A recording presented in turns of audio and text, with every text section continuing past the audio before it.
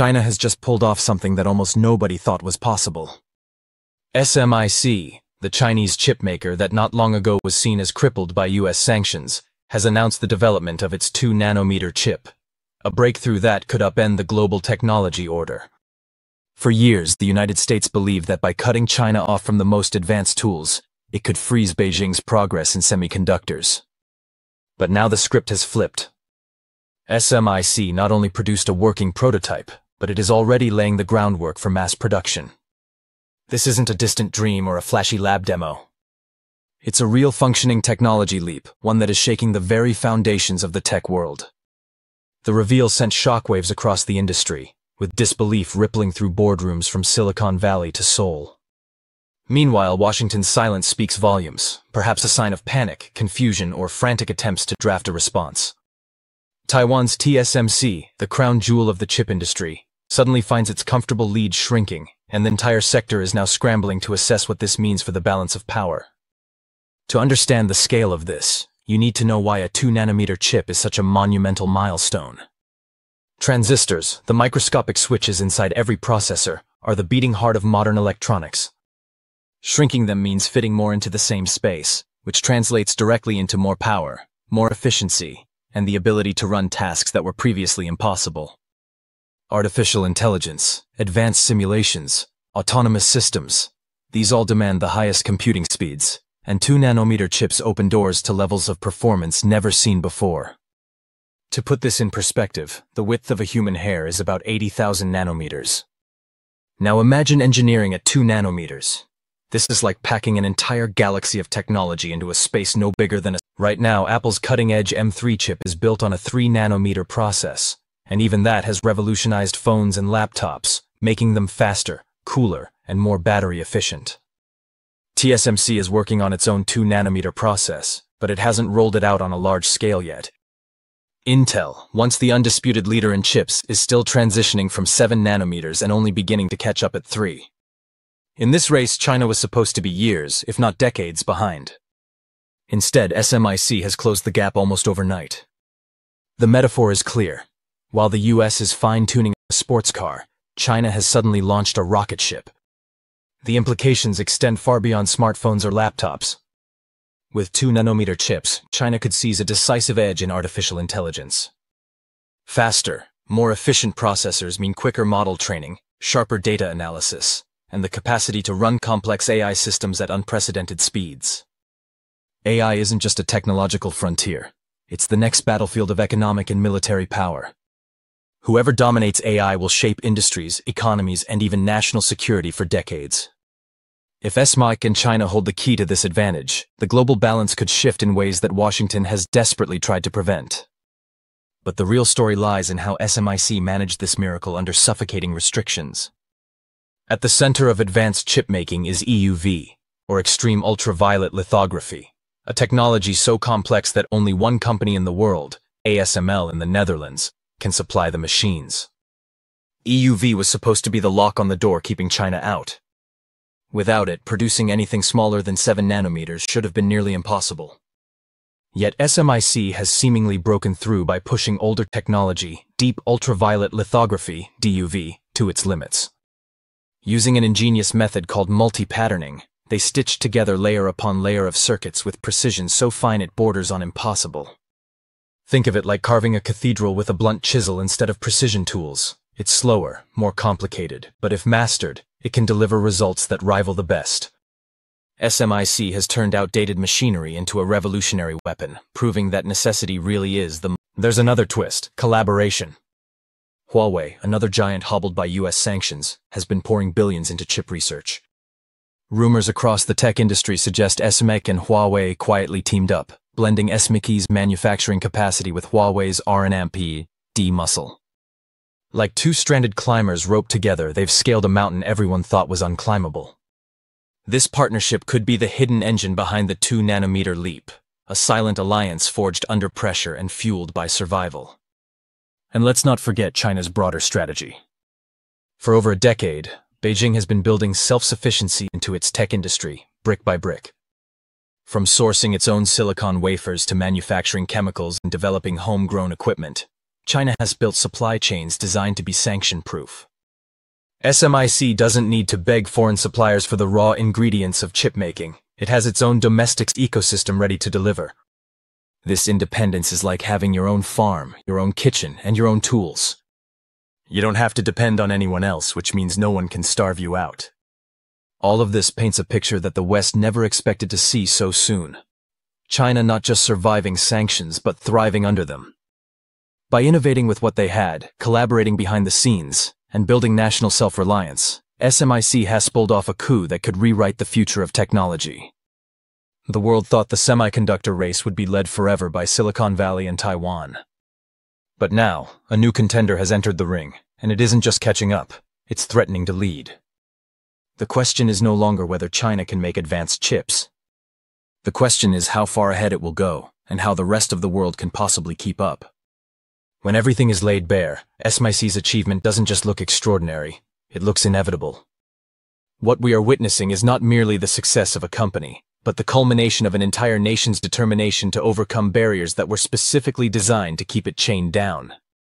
Against unprecedented sanctions, export bans, and coordinated Western resistance, SMIC has pulled off, something the world was told could not happen. They've taken older, restricted technology, reshaped it with ingenuity, and created a pathway forward that bypasses every blockade. Piece by piece, they have built a semiconductor ecosystem so fortified, so insulated, that it no longer bends to... This is not a simple milestone. It's a statement of power. SMIC and Huawei are not merely building chips, they are carving out independence. Every transistor etched into silicon carries a message. China no longer accepts technological dependency. This is resilience reborn, a relentless march towards sovereignty, a rewriting of the global order. The rules written in Washington and Brussels were meant to define the game forever. But SMIC just tore those rules to pieces. For decades, the United States and its allies controlled the choke points of progress. Sophisticated lithography machines from ASML in the Netherlands, chip design software from American firms, manufacturing techniques closely guarded by Japan and Korea, all combined to form a wall that was supposedly impenetrable. By cutting China off, Washington believed it had locked the gate to advanced semiconductors. But SMIC did not stop at the gate. They dug tunnels underneath, they built ladders over the top, they constructed an entirely new door from scratch. Today that door has swung open, and behind it lies a chip technology that most experts swore China could not create without Western permission, a 2-nanometer processor. And the timing of this breakthrough is nothing short of earth-shaking. Chips are not just another industry, they are the skeleton of the digital age. They breathe life into artificial intelligence, guide precision weapons, power satellites and supercomputers, and sustain the flow of information that keeps economies alive. Whoever controls chips doesn't simply control technology, they control the destiny of nations. So when SMIC unveiled its 2-nanometer capability, the announcement did not echo, it detonated. It was a thunderclap across capitals from Washington to Brussels, from Tokyo to Taipei. Yet what followed was not outrage, not retaliation, but silence. A silence so profound it felt almost surreal.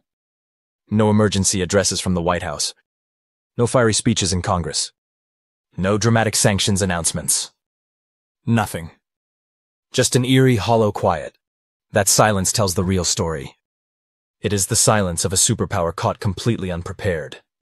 Washington was bracing for gradual steps, perhaps five nanometers, then four, but not this. Not a leap so dramatic it shattered every prediction. It was a blow straight to the gut, and in that moment, the United States did not know how to respond. But behind that silence, the machinery of power is grinding furiously. In hidden boardrooms and midnight strategy sessions, policymakers are searching for answers. They know the stakes. The United States already deployed its strongest weapons, export controls, blacklists, diplomatic pressure campaigns, bans on EUV technology, restrictions on advanced design software. And yet SMIC broke through.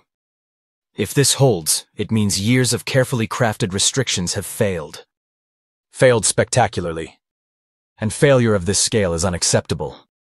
So the question now is not whether the US will respond, but how. Expect broader sanctions aimed not just at individual companies, but at China's entire domestic supply chain. Expect heavier pressure on allies like Japan, Korea, and the Netherlands to harden their lines. Expect Washington to hunt down every last gap, every last loophole that allowed SMIC to push forward. Because in Washington's eyes, this isn't just about a company outsmarting sanctions, it's about the balance of global power slipping away. And while Washington plans, America's tech giants are already trembling. NVIDIA, the undisputed emperor of AI chips, fuels the global revolution in artificial intelligence. From ChatGPT-style chatbots to autonomous vehicles, from robotics to data centers, NVIDIA chips are everywhere. But what happens if SMIC can mass-produce its 2-nanometer chips tailored for AI? Cheaper, backed by Beijing's bottomless resources and produced on home soil. Suddenly, NVIDIA is staring down not just a competitor, but a nation-backed juggernaut capable of dismantling its market dominance. Intel, once the proud leader of global chip-making, already lags behind. Its 7-nanometer chips are late, its market share eroding, its relevance questioned. Now SMIC threatens to leapfrog it entirely. If SMIC scales production, Intel could find itself obsolete, not in 10 years but in two. Markets that are less tied to US geopolitics, Latin America, Africa, Southeast Asia, could abandon Intel overnight in favor of Chinese chips that deliver more power for less cost.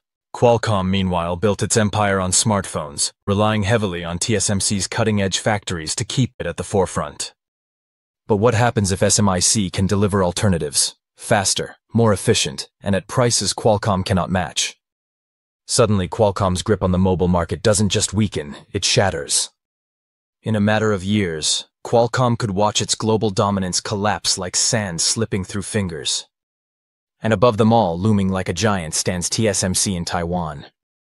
The crown jewel of global chipmaking, TSMC manufactures the world's most advanced semiconductors, anchoring both Taiwan's economy and America's military supply chain.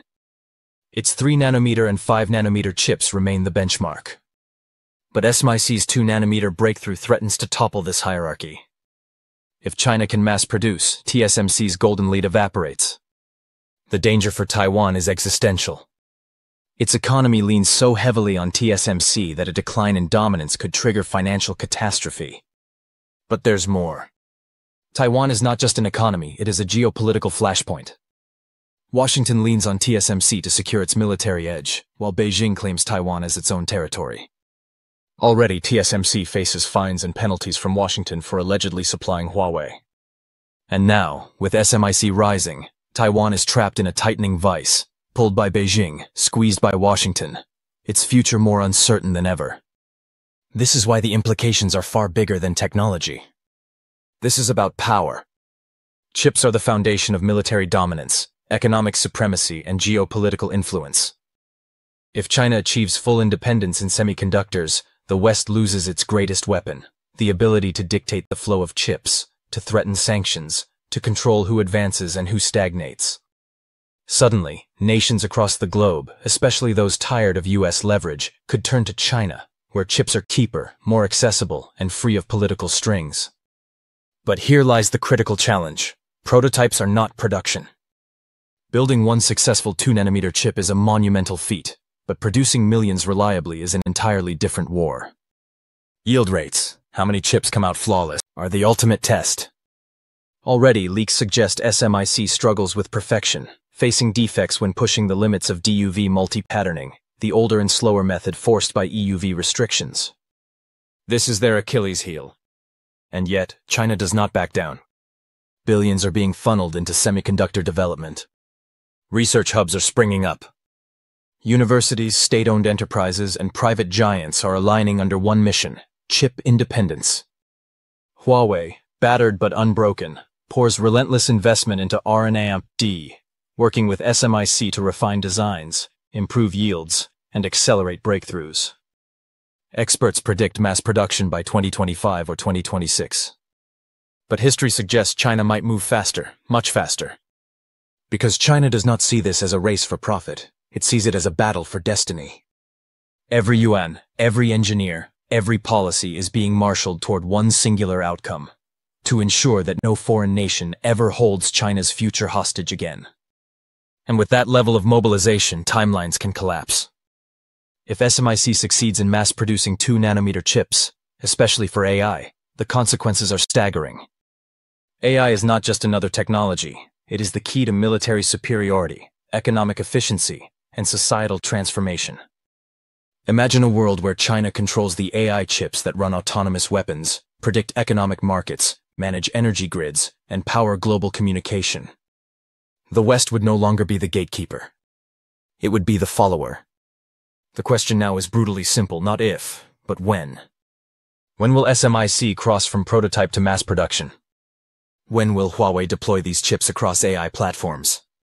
When will China flood the global market with alternatives too cheap and too powerful to ignore? And when that moment arrives, will the United States and its allies be prepared? Or will they wake up one morning to discover that the technological future has already shifted eastward, leaving them scrambling to catch up, powerless to reverse the tide? The countdown has begun. The race is alive.